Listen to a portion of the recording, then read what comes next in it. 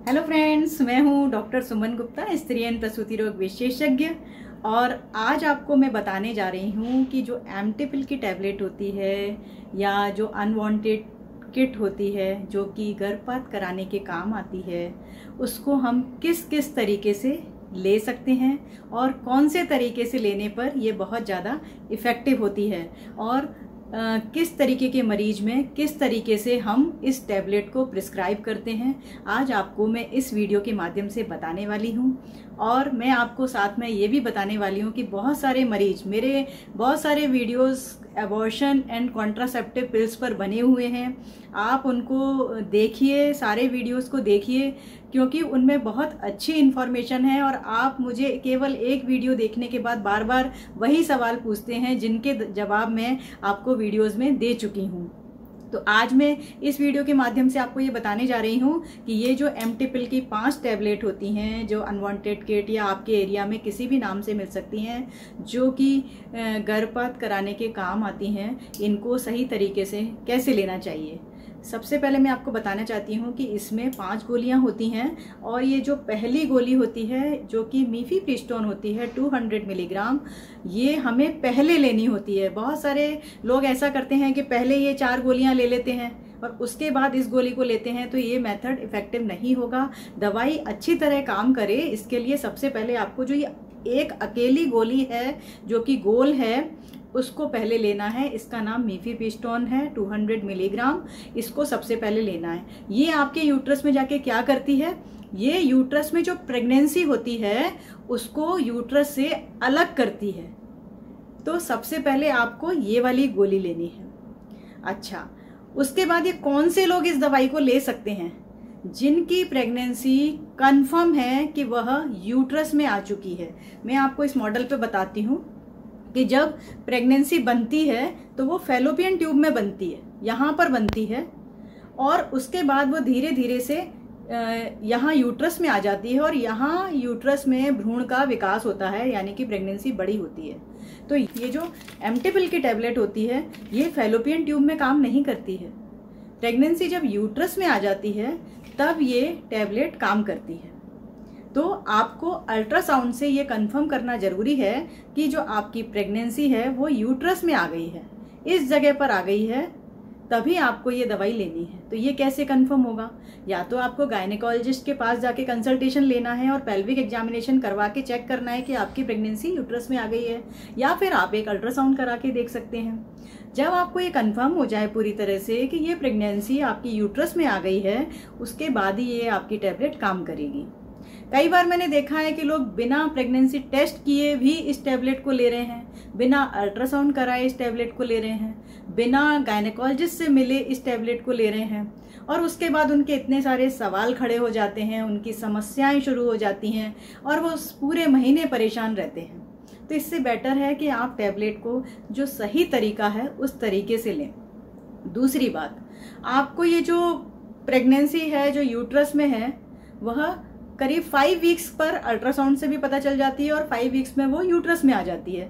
और उसके बाद नाइन वीक्स तक फाइव वीक्स से नाइन वीक्स तक ये जो टैबलेट है, वो बेस्ट इफ़ेक्टिव होती है, वो सबसे बेहतर काम करती है और उसका अच्छा इफ़ेक्ट आता है और अबॉर्शन होने की पूरी संभावना होती है।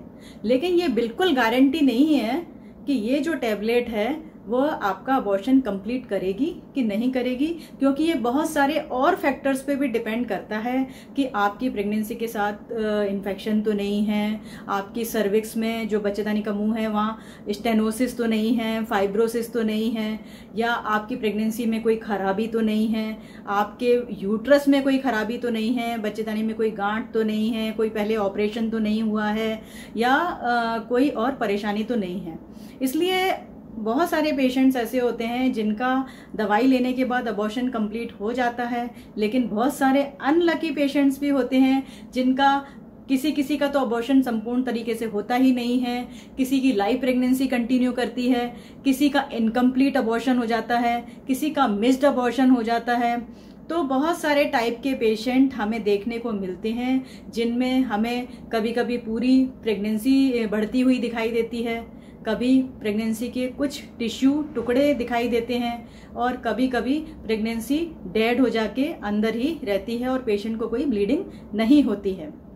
दूसरी बात मैंने जो बताई आपको कि ये फाइव वीक्स से लेकर नाइन वीक्स तक बेटर काम करती है। अगर इससे बड़ी प्रेगनेंसी के लिए आप इसका उपयोग करते हैं तो अधिक ब्लीडिंग होने की संभावना होती है। अब इस टैबलेट को लेना कैसे है? सबसे जो कॉमन मेथड होता है, उसमें हम सबसे पहले बताते हैं कि ये वाली गोली आपने अगर आज पानी के साथ खा ली है, खाना खाने के बाद तो इसके 48 घंटे बाद ये जो चार गोलियाँ हैं वह आपको चारों वजाइना में रख लीजिए। अपने बच्चेदानी के रास्ते उसको सरका लीजिए। और इसके तीन चार घंटे बाद आपको दवाई का असर आने लगेगा, पेट में दर्द होगा, क्रैम्स आएँगे और ब्लीडिंग चालू हो जाएगी और उसके बाद धीरे धीरे जो प्रेगनेंसी का जेस्टेशनल सैक है, वह बाहर आने लगेगा। और जैसे ही प्रेगनेंसी टिश्यू पूरा के पूरा यूट्रस से बाहर हो जाएगा, आपकी ब्लीडिंग अपने आप ही कम होने लगेगी और धीरे धीरे तीन चार दिन बाद ये बंद हो जाएगी और 10-12 दिन बाद आपका प्रेगनेंसी टेस्ट नेगेटिव आ जाएगा। और अगर आप अल्ट्रासाउंड करा के देखेंगे तो आपका यूट्रस आपको खाली मिलेगा और उसमें कोई भी प्रेगनेंसी के टिश्यू नहीं होंगे। दूसरा जो मेथड है, मैंने बताया आपको कि अगर आपने आज ये गोली ली है तो इसके 48 घंटे बाद आप जो दूसरा मेथड है, उसमें क्या कर सकते हैं कि दो गोली आप पानी के साथ खा सकते हैं और दो गोली आप वजाइना में रख सकते हैं। तीसरा जो मेथड है, हम बताते हैं कि ये गोली जैसे आपने आज खाई है तो इसके 48 घंटे बाद ये जो चार गोलियाँ हैं आप जीव के नीचे रख सकते हैं। जैसे कुछ पेशेंट को नहीं पसंद होता है वजाइना में रखना, या फिर वो जब वो गोलियों को खाते हैं तो उनको उल्टियाँ हो जाती हैं। तो इसका जो ये मेथड है ऑप्शन कि आप वो जो गोलियाँ हैं उसको जीप के नीचे रख लीजिए और आधे घंटे में ये अपने आप ही जीप के नीचे डिज़ोल्व हो जाएँगी। और बहुत ही अच्छा इफ़ेक्ट आएगा और ये जो सबलिंगुअल मेथड है, इससे बेस्ट इफ़ेक्ट आता है। अगर आपको जीभ के नीचे रखने नहीं है तो आप गाल के नीचे भी दबा सकते हैं। वहाँ से भी ये एब्जॉर्ब हो जाएँगी। अब बहुत से लोग पूछते हैं कि चारों गोलियाँ एक साथ खा लें या एक एक करके खाएँ। तो जो गोलियों का इफ़ेक्टिव डोज है, वो चारों गोलियों का मिलाकर आता है डोज़ अगर कई बार ऐसा होता है कि पेशेंट केवल दर के मारे दो ही गोली खाते हैं, तब भी उनको असर आ जाता है तो वो बाकी की गोलियाँ छोड़ देते हैं। ऐसा नहीं करना है। अगर आपको बहुत ज़्यादा ब्लीडिंग हो गई है गोलियाँ खाने से तो आपको उस केस में डॉक्टर के पास जाना है, क्योंकि वो आपकी जो है बहुत ज़्यादा ब्लीडिंग हो गई है, इसका मतलब है सैक बाहर नहीं निकल पा रहा है और ब्लीडिंग हुए चली जा रही है तो आपको डॉक्टर के पास जाके सर्जिकल डीएनसी करा लेना चाहिए। लेकिन आपको लग रहा है कि नहीं ब्लीडिंग अंडर कंट्रोल है तो आप डोज को कंप्लीट करिए, क्योंकि कंप्लीट डोज करने के बाद ही आपको जो है बेस्ट इफ़ेक्ट इस मेडिसिन का दिखाई देगा। और किस तरीके से ये मेडिसिन ली जा सकती है? अगर सपोज़ आपने ये जो गोली ली है और इसके 24 फोर आवर के बाद ही आपको जो है ब्लीडिंग हो गई है तो हम फिर वजाइना में इस गोली को रखने के लिए नहीं बोलते हैं। फिर हम बताते हैं कि आप 24 घंटे बाद ही इस, जैसे ही आपको ब्लीडिंग स्टार्ट होती है तो आप इस गोली को सुबह शाम सुबह शाम करके खा सकते हैं। अब एक वेरिएशन और होता है।